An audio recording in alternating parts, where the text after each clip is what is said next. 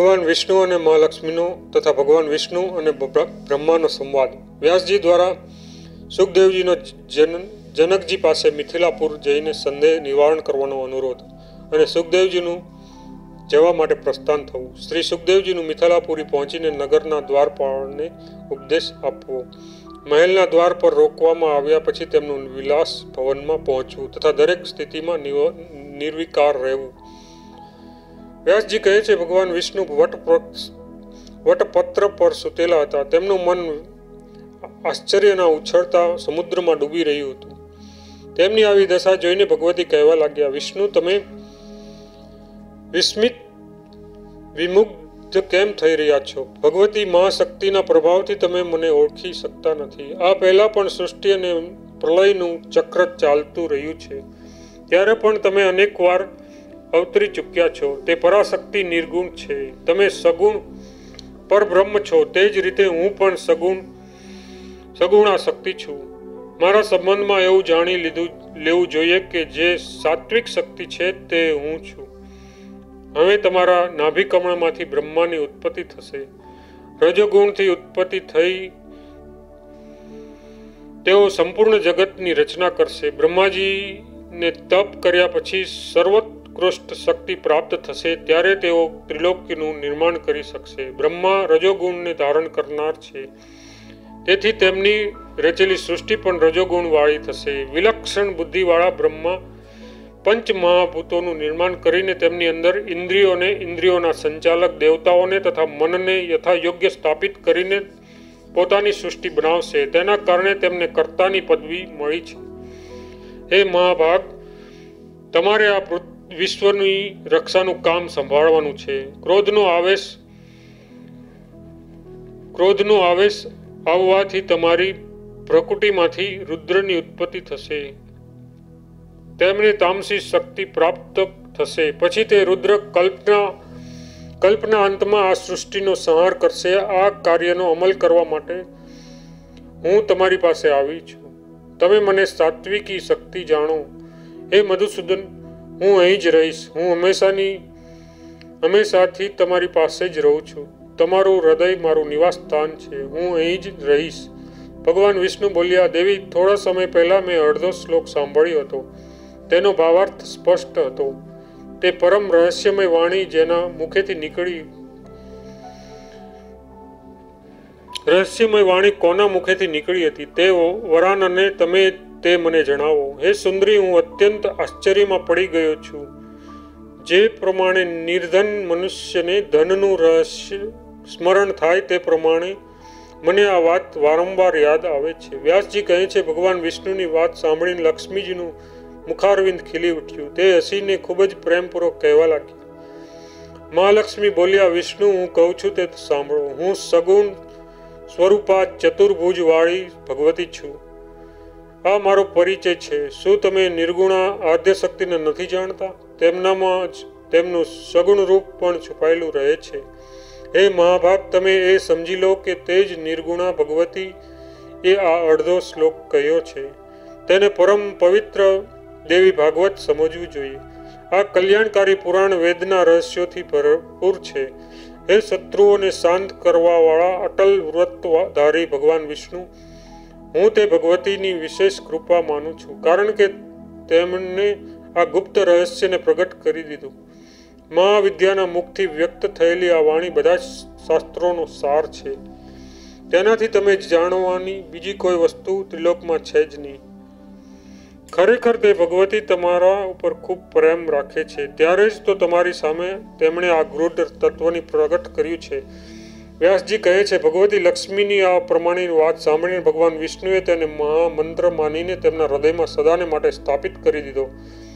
થોડો સમય વ્યતીત થયા પછી તેમની નાભી કમળમાંથી પ્રગટ થયેલા બ્રહ્માજી દૈત્યોની ભયભીત થઈને શ્રી કૃષ્ણ, વિષ્ણુની શરણમાં આવ્યા. શ્રી હરિએ ઘોર યુદ્ધ કરીને મધુકૈટવ નામના દૈત્યને માર્યો. પછી તેઓ સ્પષ્ટ અક્ષરવાળા અડધા શ્લોકનો જપ કરવા મગ્ન થઈ ગયા. તેમણે જપ કરતા જોઈને બ્રહ્માજીએ આનંદ, અત્યંત આનંદ થયો. તેમણે ભગવાન વિષ્ણુને પૂછ્યું, જગદીશ્વર, આપ બધા દેવતાઓના આરાધ્ય છો. હે કમલ લોચન, પછી આપ કોનો જપ કરી રહ્યા છો? આપથી વધારે આદરણીય દેવતા કોણ છે? જેનું સ્મરણ કરીને આપ હૃદય આનંદમાં લીન થઈ રહી ગયું છે. ભગવાન વિષ્ણુ બોલ્યા, એ ભાગ કાર્ય કારણ વગેરે લક્ષણોથી સંપન્ન જે શક્તિ તમારામાં અને મારામાં રહેલી છે તેને કલ્યાણ સ્વરૂપા ભગવતી આદ્ય શક્તિ જાણો. જેના આધારે આ અગાધ જળમાં પૂરું જગત સ્થિર છે, જે કાયમ રહેનારી અને સાકાર રૂપે પોતાની લીલા પ્રગટ કરે છે અને જેનાથી આ ચરાચર વિશ્વ ઉત્પન્ન થયું છે. સદા પ્રસન્ન રહેનારી તે જ ભગવતી મહાશક્તિ મનુષ્યના ઉદ્ધાર કરવા માટે અવિરત એટલે કે પ્રગટ થયા છે. વરદાન આપવું એ તેમનો સ્વભાવ છે. તેઓ પરમ વિદ્યા સ્વરૂપિણી સનાતન શક્તિ છે. જગતનો ઉદ્ધાર કરવા માટે તેમનું પ્રાગટ્ય થાય છે. શાસકો પણ પર શાસન કરવાવાળા તે ભગવતીની પ્રેરણાથી જીવો આ જગતરૂપી જાળમાં ફસાયેલા રહે છે. એ શુદ્ધ સ્વરૂપ બ્રાહ્મણ તે જ ભગવતીની ચિત્ત શક્તિથી હું અને હું અને તમે અને સંપૂર્ણ પ્રાણીઓ ઉત્પન્ન થયા છે. તેમાં કોઈ શંકા કરવી જોઈએ નહીં. તે દેવી એ જ અડધા શ્લોકનું કહ્યું છે. તે જ દ્વાપરમાં પ્રારંભમાં વિસ્તૃત વ્યાખ્યા થયા. દેવી ભાગવત નામની પ્રસિદ્ધ થશે. વ્યાસજી કહે છે કે વ્યાસજી કહે છે, બ્રહ્માજી ભગવાન વિષ્ણુના નાભિકમળ પર વિરાજમાન હતા. ત્યાં જ તેમણે તે અડધા શ્લોકને યાદ કરી લીધો. ત્યાર પછી તેમના અપાર બુદ્ધિશાળી પુત્ર નારદજીને તેનું શિક્ષણ આપ્યું. નારદજીએ તે મને સંભળાવ્યું. પછી મેં બાર શ્લોકોમાં તેનો વિસ્તાર કર્યો. હે મહાભાગ, તે વેદ સમાન પુરાણનું મને અધ્યયન કરો. વેદ સમાન પુરાણનું તમે અધ્યયન કરો. સર્ગ, ઉપસર્ગ વગેરે પાંચ લક્ષણોથી પૂર્ણ તે પુરાણ ભગવતી જગદંબિકાની ઉત્તમ કથાઓનું ભરપૂર છે. તેના દરેક પ્રકરણમાં તત્વજ્ઞાનનો રસ ભરેલો છે. બધા પુરાણોમાં તે શ્રેષ્ઠ માનવામાં આવે છે. પવિત્રતામાં ધર્મશાસ્ત્રની બરાબર, બરાબરી કરે છે. તેમાં વેદના સિદ્ધાંતો ભરેલા છે. વત્રાસુરના વધની કથા તથા કેટલીક અન્ય કથાઓનું તેમાં વર્ણન છે. સંસાર સાગરમાંથી મુક્તિ અપાવનારા પુરાણ બ્રહ્મ વિદ્યાનો ખજાનો છે. હે મહાભાગ, તમે યોગ્ય અને પ્રતિષ્ઠિત પુરુષ છો. તમારામાં અપાર બુદ્ધિ છે. તેથી આ પરમ પવિત્ર દેવી ભાગવત પુરાણના અધ્યયનમાં પ્રવૃત્ત થઈ જાઓ. આ પુરાણના અઢાર હજાર શ્લોક છે. અજ્ઞાનને દૂર કરવાવાળા દિવ્ય પુરાણના પ્રભાવથી જ્ઞાનરૂપી સૂર્યનો ઉદય થાય છે. આ પ્રસન્ન છે. પ્રસન્નનીય અને કલ્યાણકારી પુરાણ શ્રોતા, વક્તાઓને સુખી કરે છે. શાંતિ આપે છે અને દીર્ઘજીવીને દીર્ઘજીવીની સાથે સાથે પુત્ર પૌત્રાદિકથી સંપન્ન કરે છે. આ ધર્માત્મા સુપ્ત મારા શિષ્ય છે. આ મંગળમય પવિત્ર પુરાણનું તમારી સાથે તે પણ અધ્યયન કરશે.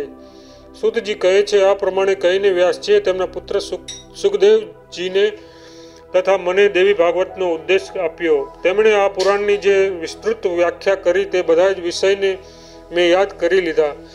વ્યાસજીના પાવન આશ્રમમાં રહીને મેં દેવી ભાગવતનું અધ્યયન કર્યું, તો પણ બીજા શ્લોક, લોકો જેવી સુખદેવજીના હૃદયમાં શાંતિ ન થઈ. તે એકાંતમાં રહેવા લાગ્યા. તેમના મનની વ્યાકુળતા દૂર ન થઈ શકી.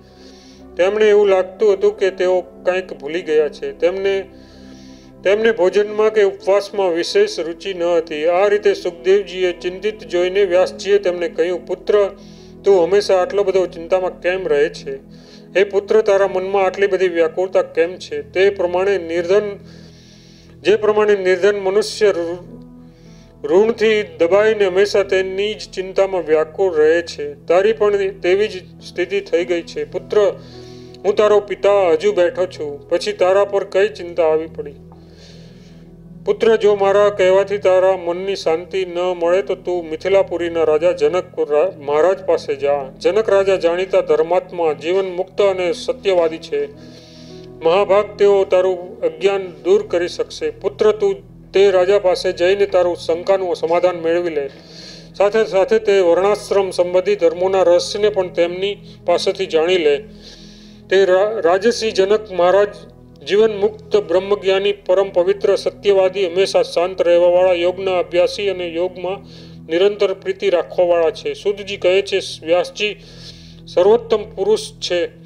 તેમનું આ પ્રમાણેનું કહેવું સાંભળી પરમ તેજસ્વી સુખદેવજી તેમને કહેવા લાગ્યા, હે ધર્માત્મા, આ વાત તો મારા મનમાં પ્રમાણે તદ્દન દંભ જેવી લાગે છે. કારણ કે રાજા જનક પ્રસન્નતાપૂર્વક રાજ્ય કારભાર સંભાળે છે અને સાથે સાથે જીવન મુક્ત છે.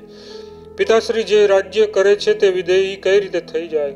મારા મનમાં આ મોટી શંકા ઉત્પન્ન થઈ છે. તેથી હવે હું તે જનક મહારાજને મળવા ઈચ્છું છું. કારણ કે જળમાં રહેવા છતાં જળ કમળ જળમાં રહેવા છતાં કમળપત્રની જેમ તેનાથી નિર્લેપ અછૂત કઈ રીતે રહે છે? પિતાશ્રી ભોગ ભોગવીને અભોગતા રહે અને કરતા થઈને અકર્તા રહે એ કઈ રીતે સંભવ છે? ઇન્દ્રિયોનો વ્યવહાર કઈ રીતે અલગ થઈ શકે? મા પુત્ર, સ્ત્રી અને વેશ્યા, તેમાં ભેદ અને અભેદ કેમ ન થઈ શકે? અને જો ભેદ કરવામાં આવ્યો તો પછી મુક્તની મુક્તની વ્યાખ્યા શું? કડવું, તીખું, ખારું તુરું અને મીઠું આ બધાનો સ્વાદ જીભ જાણે છે અને મનુષ્ય ઉત્તમ, ઉત્તમોત્તમ પદાર્થો ભોગવી રહ્યો છે. ઠંડી, ગરમી સુખ દુઃખને પણ માણસ સારી રીતે સમજે છે, તો પછી તે જીવન મુક્ત કઈ રીતે કહેવાય?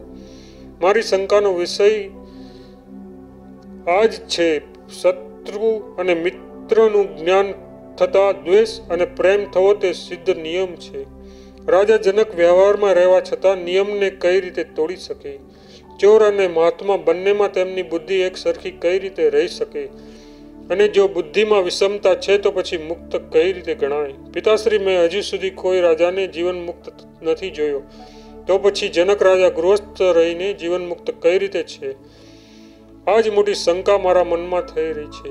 સાથે સાથે તેમની વાત સાંભળીને તેમને મળવાની મારા મનમાં તીવ્ર ઈચ્છા જાગી છે. તેથી મારી શંકાનું, શંકા દૂર કરવાના બહાને હું મિથિલાપુરી જાઉં છું. સુતજી કહે છે, આ પ્રમાણે પિતા વ્યાસજીએ કહીને ઉદાર મનવાળા સુખદેવજી તેમના ચરણોમાં પડ્યા. હાથ જોડીને જવાની ઈચ્છા વ્યક્ત કરીને તેમણે આ પ્રમાણે કહ્યું, મહાભાગ મારા પૂછવાથી આપે જે આજ્ઞા કરી, તેનો હું સ્વીકાર કરું છું. તેથી જનકજી દ્વારા સુરક્ષિત વિદેહનગર જોવાની તક મળે તે મારા માટે મનગમતું થયું છે.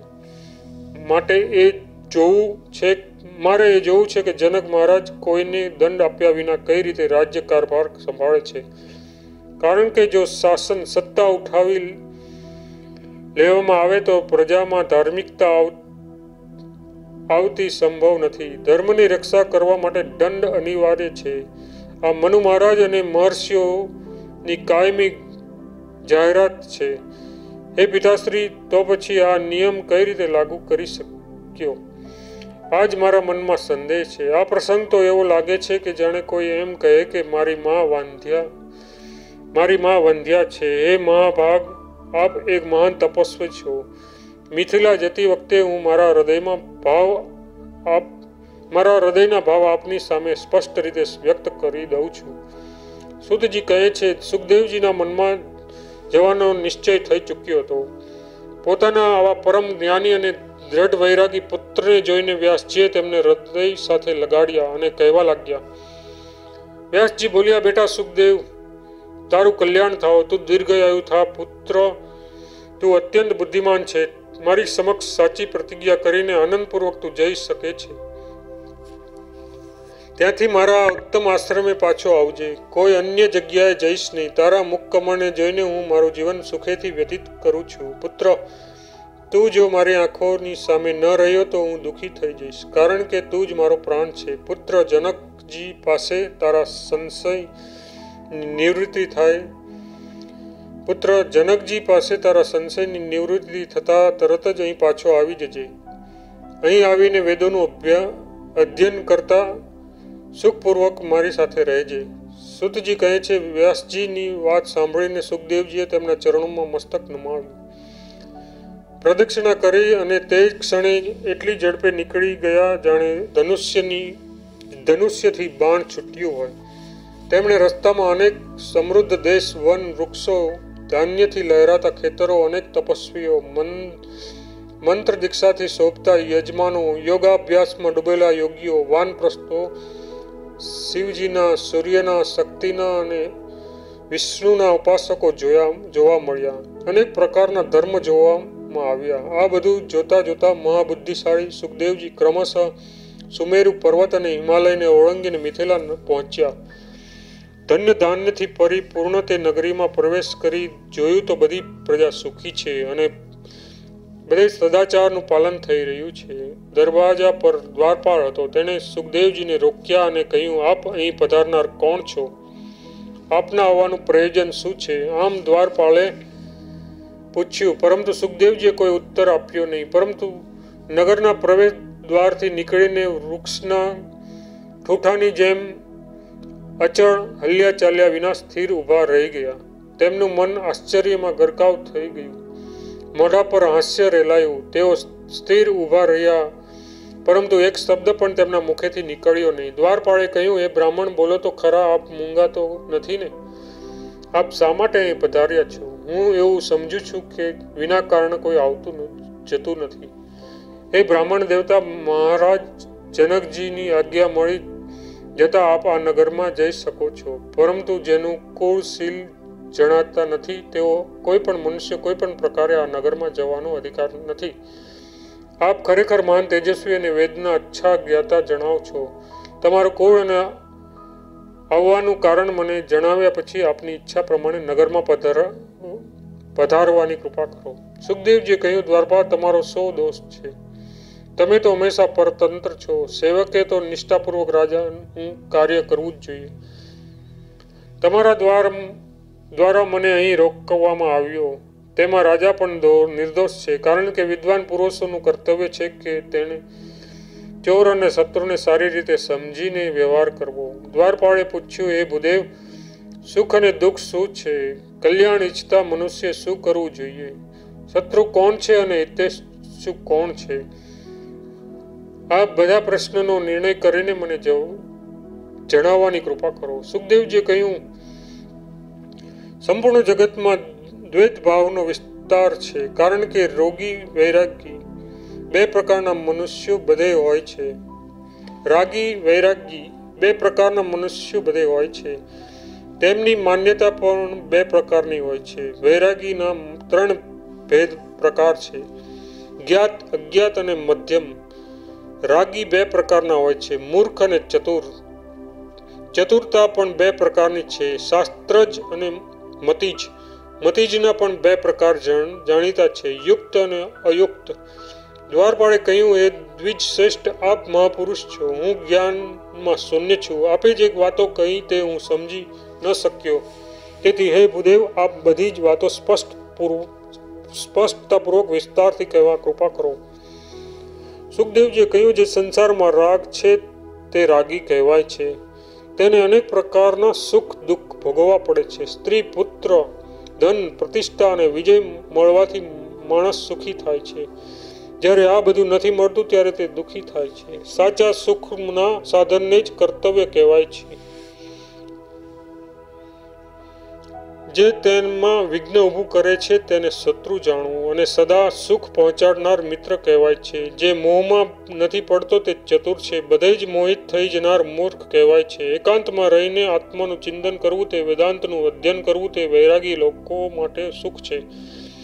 જગતનું ચિંતન અને તેનો ઊંડો અભ્યાસ વગેરે જેટલા કાર્ય છે તે બધા વૈરાગીજનો માટે સુખ, દુઃખરૂપ છે. કલ્યાણ ઈચ્છતા વિદ્વાન પુરુષ માટે કામ ક્રોધ અને પ્રમાદ વગેરે જુદા જુદા શત્રુઓ છે. માત્ર સંતોષ જ તેનો સાથી મિત્ર છે. તે સિવાય ત્રિલોકમાં બીજો કોઈ હિતેશી નથી. સુધજી કહે છે, સુખદેવજીના ઉપર પ્રમાણેના વચનામૃત સાંભળી દ્વારપાળે મનમાં નિશ્ચય કર્યો કે આ કોઈ જ્ઞાની બ્રાહ્મણ છે. તેવું જાણી રાજાના ભવનમાં જવા દ્વારપાળે સુખદેવજીને પ્રાર્થના કરી. સુખદેવજી મિથિલાના દ્રશ્યો જોતા જોતા આગળ વધ્યા. તે નગરી ત્રણ પ્રકારના માણસોથી ખીચોખીચ ભરાયેલી હતી. રત્નો વગેરે અમૂલ્ય વસ્તુથી ઉભરાતી અનેક દુકાનો હતી. ખરીદનાર અને વેચનાર પણ ઘણા હતા. બધે જ વિપુલ માત્રામાં સંપત્તિ દેખાતી હતી. ત્રણ પ્રકારના માણસો પર નજર નાખતા સુખદેવજી ચાલ્યા જતા હતા. તેઓ રાજભવનમાં પ્રવેશ દ્વાર પાસે પહોંચ્યા. સુખદેવજી તે એટલા તેજસ્વી હતા, જાણે બીજા સૂર્યનારાયણ હોય. ત્યાં પણ દ્વારપાળે તેમને રોક્યા. ત્યારે કાષ્ટના પુતળાની જેમ મુનિ ત્યાં ઊભા રહ્યા. તે મહા તપસ્વી મુનિએ ત્યાં એક નિર્જન સ્થાનમાં ડાળીઓ વિનાના વૃક્ષના ઠૂઠાની જેમ સ્થિર સમાધિમાં ઊભા રહી ગયા. તેમની દ્રષ્ટિમાં તડકા છાયડાનું કોઈ મહત્વ ન હતું. થોડા સમય પછી રાજ્યના મંત્રી ત્યાં આવ્યા અને હાથ જોડીને સુખદેવજીને રાજ્યસભામાં આવેલા વિલાસ ભવનમાં વિલાસ ભવનમાં લઈ ગયા. ત્યાં અત્યંત અદ્ભુત અને મનને મોહી લેનાર દિવ્ય વૃક્ષો ફૂલોથી શોભી રહ્યા હતા. રાજ્યમંત્રીએ વૃક્ષોની સાથે તે બગીચો પણ તેમને બતાવવાની વ્યવસ્થા કરી. ત્યાર પછી સુખદેવજીનો વિવિધિપૂર્વક અતિથ્ય સત્કાર થયો, કર્યો. રાજાની સેવામાં રહેવાવાળી ગીત અને સંગીતમાં પ્રવીણ ઘણી સુંદરીઓ ત્યાં હતી. તેમણે કામશાસ્ત્રનો સારી રીતે અભ્યાસ કર્યો હતો. તેમને સ્ત્રીઓ તેવી સ્ત્રીઓને સુખદેવજીની સેવા કરવા માટે તેમની આજ્ઞા આપીને રાજ્યમંત્રીએ તે ભવનથી ચાલ્યા ગયા. તે વખતે માત્ર સુખદેવ મુનિ ત્યાં એકલા જ હતા. તે સ્ત્રીઓને અત્યંત શ્રદ્ધાપૂર્વક અને વિધિપૂર્વક સુખદેવજીનું સ્વાગત કર્યું. દેશકાળ પ્રમાણે અનેક પ્રકારની ભોજન સામગ્રી તેમની પાસે મૂકીને તેમને પ્રસન્ન કરવાની ચેષ્ટા કરી. ત્યાર પછી રાજભવનની અંદર રહેવાવાળી સ્ત્રીઓ મળીને તે મુનિને અંતપુરનો મનોહર બગીચો બતાવવા લાગી. તે સ્ત્રીઓનું મન મોહિત થઈ ગયું હતું. સુખદેવજી અતિ સુંદર હતા, તેમની વાણી અત્યંત મધુર હતી, છતાં પણ તે મુનિને જીતેન્દ્રિય માનીને તેમને મર્યાદાપૂર્વક સેવા કરતી રહી. પવિત્રતાત્મા એવા સુખદેવજી આ સ્ત્રીઓને માતા તુલ્ય માનતા હતા, જે આત્મચિંતનમાં સુખ માને છે તથા જેણે કામ ક્રોધ ઉપર વિજય પ્રાપ્ત કરી લીધો છે, તેને કોઈ પણ સ્થિતિમાં હર્ષ કે શોક થતો નથી. તેથી સ્ત્રીઓની ચેષ્ટાઓ જોવા છતાં પણ સુખદેવજી શાંત ચિત્તે વિરાજેલા હતા. સ્ત્રીઓએ તેમના શયન માટે સુંદર શયા તૈયાર કરી હતી. તેના પર અતિ કિંમતી બિછાનું બિછાવ્યું હતું અને શોભાયમાન અનેક વસ્તુઓથી શયન ગ્રહની સજાવટ કરવામાં આવી હતી. સુખદેવજીએ પગ ધોયા અને સાવધાન થઈ હાથમાં દર્ભ લઈ સાયમ સંધ્યા કરવા બેસી ગયા. સંધ્યા પછી તેઓ ધ્યાનસ્થ થઈ ગયા. તેમની એક પહોર રાત્રિ તો સંધ્યા અને ધ્યાનમાં વ્યતીત થઈ ગઈ. ત્યાર પછી તે પહોર, બે પહોર તેઓ સૂતા અને રાત્રિના ચોથા પહોરમાં ઉઠીને ફરી ધ્યાનમાં બેઠા. પછી તેમણે સ્નાન કર્યું. પ્રાતકાળમાં નિત્ય કર્મ, સંધ્યા, વંદન વગેરે કાર્ય કરીને તેઓ નિશ્ચિત થઈ ગયા. અધ્યાય સોળ